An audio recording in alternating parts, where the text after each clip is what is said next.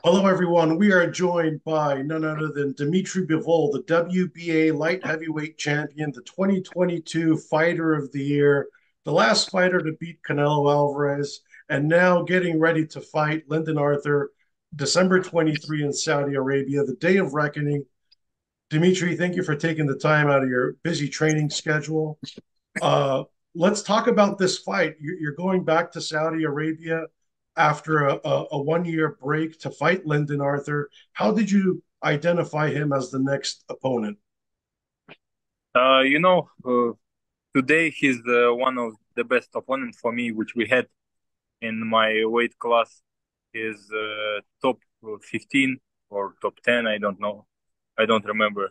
But uh, he's the champion, I, IBO champion, and uh, it's good for me after both one year uh, and he's moving good he has good jab and he has good counter punch right one right with the right uh, hand.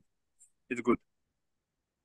Do you did you find it hard to get an opponent for yourself after dominating Canelo and Gilberto Zurdo Ramirez as as well as you did? Was it hard for you to get an opponent uh, it wasn't easy, of course, because uh, most uh, because it's not only after them. It's uh, before them. I was fighting against uh, another guys uh, like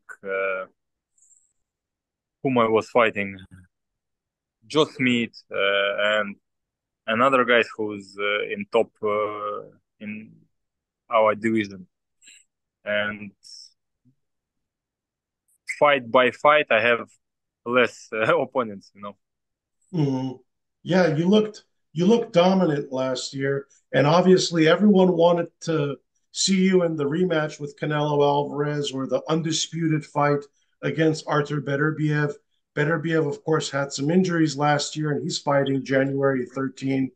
But um, can you, what kind of outlook are you looking for in 2024? Can you give the fans a guarantee that you're going to fight for undisputed in your next fight? You know, I, I can't uh, give some warranty because I don't have warranties about uh, my fights. But when I signed the contract with with uh, Saudi to fight uh, against um, Lyndon Arthur, uh, it wasn't the main uh, thing which they want. they want to make undisputed fight in light heavyweight division and this is why I'm here. Uh, I hope next fight. I hope I will win this fight, and I hope next fight I will fight for un- undisputed uh, in my weight class, not in uh, super middleweight, because uh, the subject with the Canelo now is closed. Mm-hmm. I have my own way we'll get to Canelo in a little bit, but let's let's talk about that Beterbiev Callum Smith fight. You you saw Beterbiev up close and personal yeah. during the Tyson Fury and Ngannou fight. What were those conversations like? And do you think Beterbiev is going to beat Callum Smith? Yeah, I give him more chances uh, to win than to Callum Smith, to be honest. Mm-hmm. And what what is that relationship like with Beterbiev? I know there's some mutual respect, but you you guys want to fight each other. Yeah, uh, you know, I respect respect him as an athlete, as a boxer, uh, but uh, nothing more. Just respect, and he's my opponent, uh, future opponent. He's in my division, and he has something what I want, uh, and that's it a lot of people think Beterbiev's best days are behind him. He's gotten through a lot of injuries. He's 39 years old, but he's still beaten every opponent via knockout. Why do you think you can beat Artur Beterbiev if you guys were to fight for undisputed? Uh, you know, because it's boxing and because uh, I believe in myself.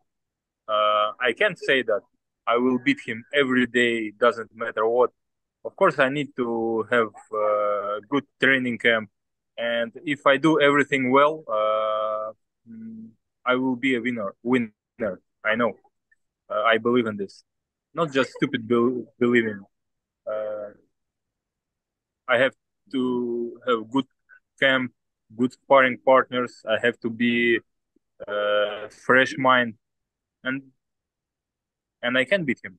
Why not? I know you're very confident in your skills. You had that same confidence when you fought Canelo Alvarez. And I think your confidence even extended to bringing yourself back down to 168 pounds, something you hadn't done in your professional career. Why were you willing to do that to give perhaps Canelo a, a weight advantage to, to come down at his natural weight to fight him? And why do you think that fight never happened? The rematch? Uh, be, you know why? Because uh, my I'm not I'm not big uh, light heavyweight fighter. If you see on my opponents, uh, previous opponents, I'm not bigger than them. Uh, I can make uh, 168, but only for belts, nothing for for nothing else.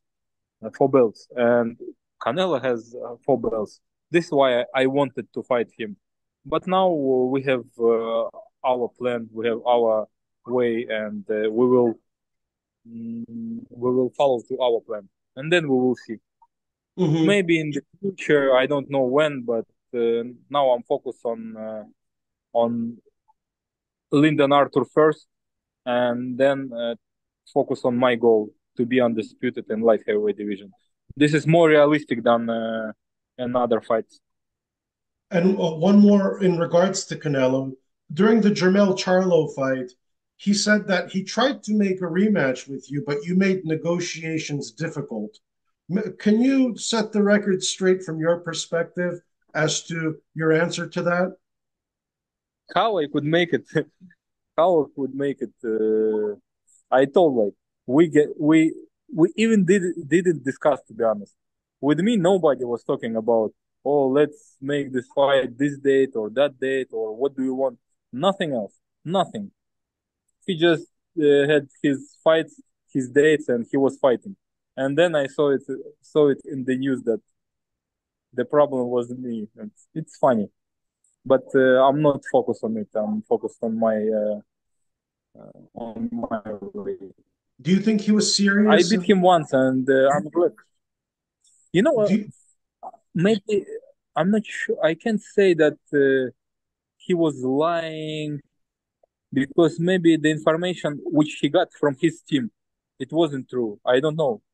maybe he was he wanted to close subject like this, like I didn't want rematch. But uh, with me, nobody was discussing mm-hmm. with my team.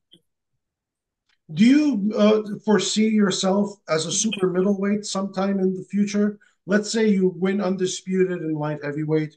Do you see yourself actually coming back down to 168 for uh, the next chapter of your career? Now I, I, I see uh, I could make it.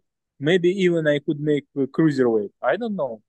Uh, to be honest, uh, now I'm focused more on my uh, weight class uh, because I see the way how I could be uh, undisputed champion. Now I see this way more clear than uh, before mm-hmm. because now we have Saudi Arabia who wanted and who who could make undisputed fight in light heavyweight division. They have uh, uh, у них есть возможности, как ability. They have ability to make it happen. Mm-hmm. Is that the reason why you didn't fight earlier this year? You were waiting for uh, the Saudi Arabian team to come back with the fight because you had a great momentum and you didn't fight this year. Yeah, to be to be honest, uh, I was uh, I I was tired from uh, last year. Uh, I last year was really busy for me, and then uh, I was resting uh, half a year, and then we we would discuss about fighting against Munguia, against someone else, but it wasn't it wasn't uh, good offer for us. It wasn't uh, it wasn't uh, close to make this fight happen.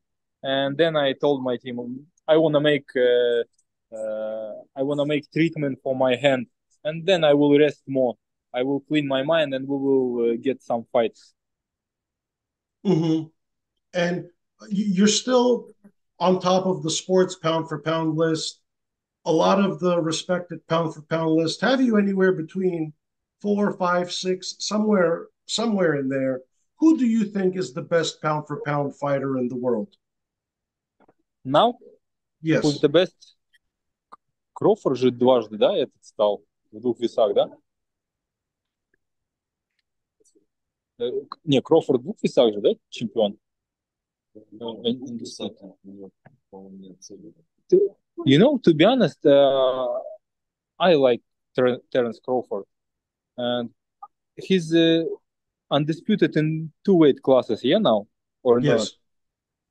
Yeah, he's. Uh, I think he's uh, the best fighter now. Mm-hmm. Do you think it's a little too much for him to go to 168 to fight Canelo? Little too, little too, too, uh, I, too much. You know, when I came to, to boxing gym, uh, the first rule was like, you should respect weight classes. uh-huh. But I don't know what what he's gonna eat, and you know, he's he's the best fighter.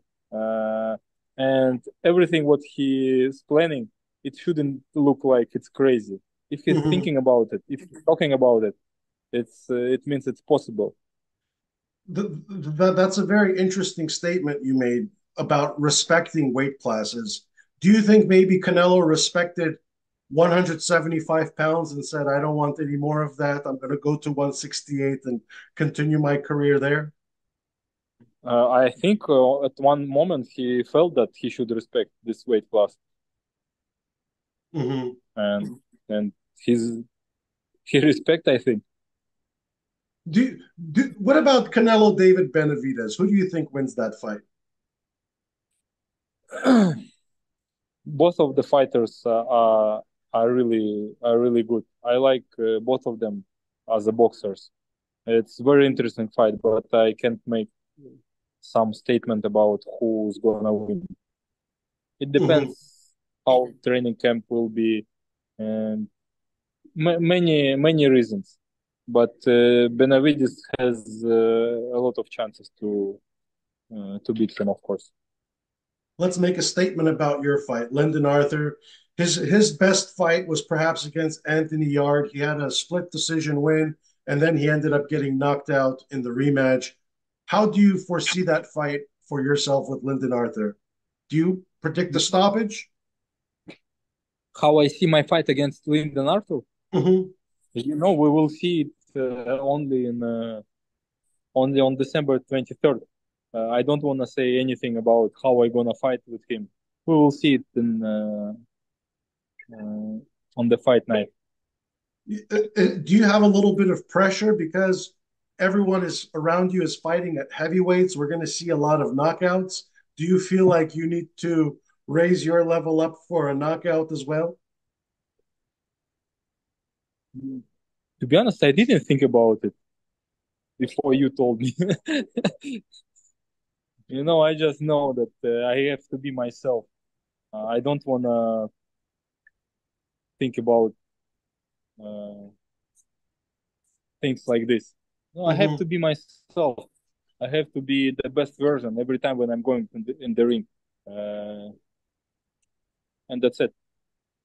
Well, maybe you could steal the show with a prolific knockout, just like you stole 2022 with all of the awards for Fighty of the Year. But let's talk about very quickly 2024. If you had one wish for your 2024 and how that looks like, what does the perfect 2024 look like for you? uh, fight for for for belts, for all belts. This fight should be there in 2024, and uh, another one, and another fight too. So you'll look minimum two. I wanna, I wanna have two fights minimum, and I wanna be undisputed. But who we will you, see how things are. Who would you like to defend the title against? Let's say you beat the winner of Beterbiev Smith. Who would be that next opponent? Oh, you to be honest, you know, I don't want uh, look for look behind, look forward too much. Uh, it's so far. Uh, I have to think. Uh, I have to see only short way. You know, if you see so far, you will not uh, reach anything.